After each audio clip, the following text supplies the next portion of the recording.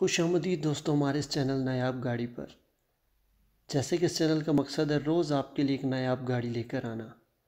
तो आज हम आपकी खिदमत में लेकर आए हैं टोयोटा विड्स जी हाँ दोस्तों तो आज की वीडियो में हम बात करेंगे इस गाड़ी की एक्सटीरियर इंटीरियर इसकी तमाम डिटेल के बारे में, इसकी प्राइस के बारे में और कैसे आप इस गाड़ी को परचेज़ कर सकते हैं, ये तमाम बात करेंगे हम इस वीडियो में।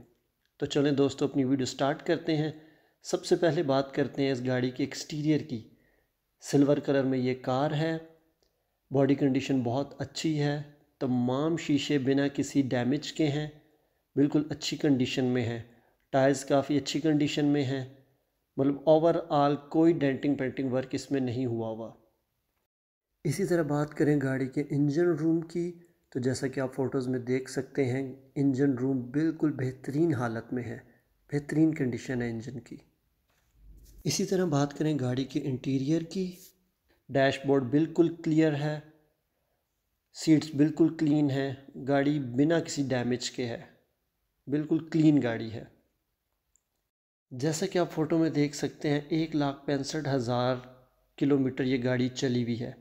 फ्यूल की बात करें तो गाड़ी पेट्रोल पे है। रजिस्ट्रेशन सिटी इसका इस्लामाबाद है। ओरिजिनल डॉक्यूमेंट्स के साथ ये गाड़ी है। असम्बली इम्पोर्टेड है। ऑटोमेटिक कार है ये।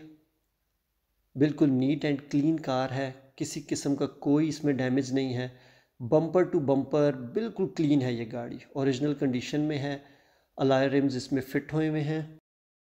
चार एयर बैग्स हैं इसमें। इस्लामाबाद का रजिस्ट्रेशन नंबर है। लाइफ टाइम टोकन है इसके। रावलपिंडी के इलाका बहरिया टाउन फ़ेज़ एट में ये गाड़ी इस वक्त मौजूद है। उन्नीस लाख पचास हज़ार गाड़ी की डिमांड है।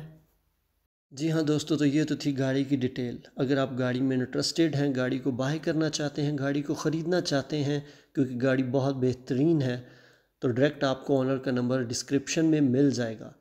तो दोस्तों, ये तो थी आज की हमारी वीडियो। उम्मीद करता हूँ आपको वीडियो पसंद आई होगी।